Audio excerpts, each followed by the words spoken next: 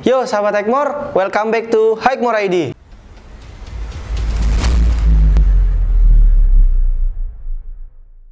Ya, kembali lagi bersama gua Sandika Disa Putra.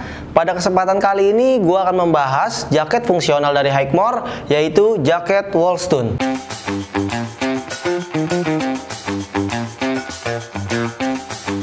Ya, jadi jaket Wallstone ini memiliki warna uh, hitam kombinasi dengan abu.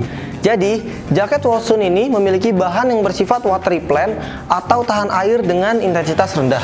Dan juga, jaket Wallstone ini berbahan windproof atau tahan angin. Jadi, jaket ini sangat fungsional sekali, bisa untuk traveling dan juga riding. Lalu, pada bagian penutup jaket Wallstone ini sudah menggunakan velcro dan zipper. Sehingga Bagian dalam lebih terlindung dari air. Pada bagian inner jaket Wilson ini sudah menggunakan jaring atau berbahan jaring. Kemudian, jaket Wilson ini memiliki 5 kantong yang di mana tiga kantong di bagian dada depan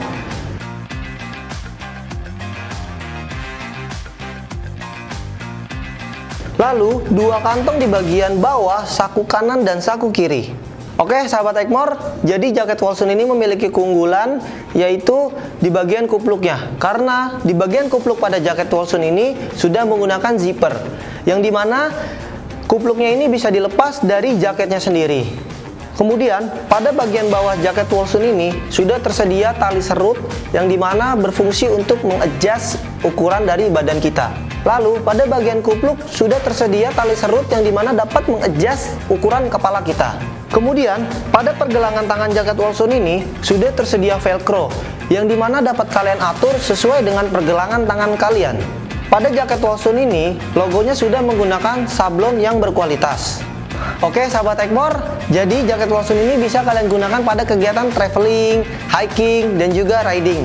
Nah, buat kalian yang ingin mendapatkan jaket Wolson ini, kalian bisa langsung membelinya di marketplace kesayangan kalian atau di website Hikemore, bisa juga di sosial media dan juga kunjungi langsung offline store Hikemore. Mungkin sekian dulu pembahasan dari jaket Wolson ini.